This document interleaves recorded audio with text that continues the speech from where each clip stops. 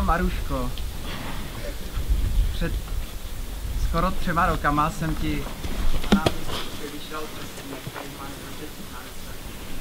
A řekl jsem ti tenkrát, že tě nemůžu požádat o ruku, ale že ti můžu slíbit, že tě nesklamu, nezradím tě a že tě budu mít rád.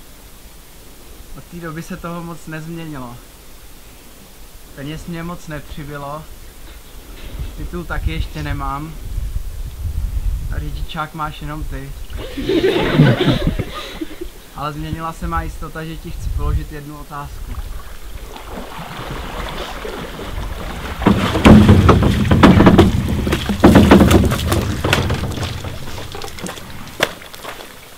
Maruško, vezmeš si mě.